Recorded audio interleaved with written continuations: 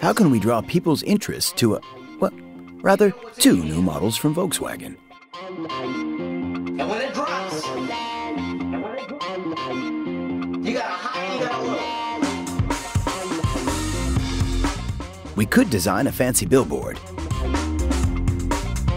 We could adorn it with stuffed animals or a gigantic bow. We could give it away. But experience shows that there is only one really convincing way. If we allow the target audience to try the new cars themselves.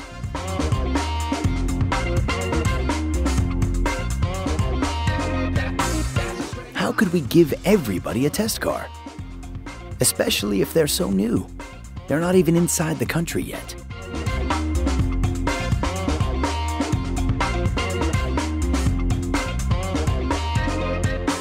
Let's multiply our test cars in a virtual way.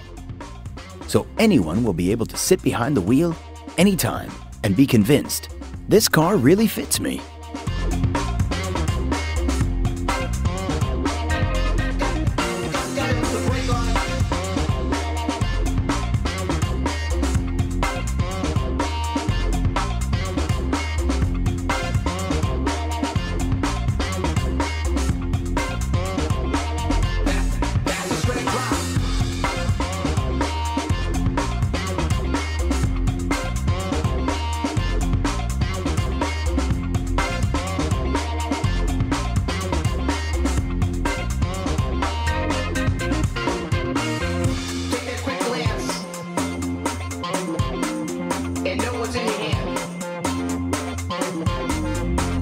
How can we make people want to go for a test drive?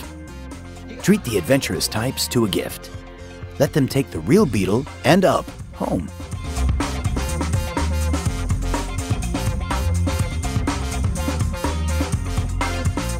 And most importantly, make them famous.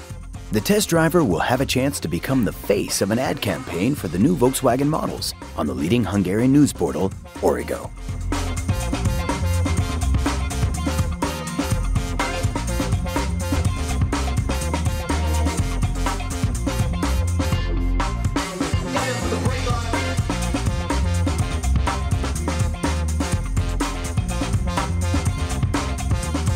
How can we spread the word about the virtual test drive? Leave that to the exhibitionism of the virtual test drivers.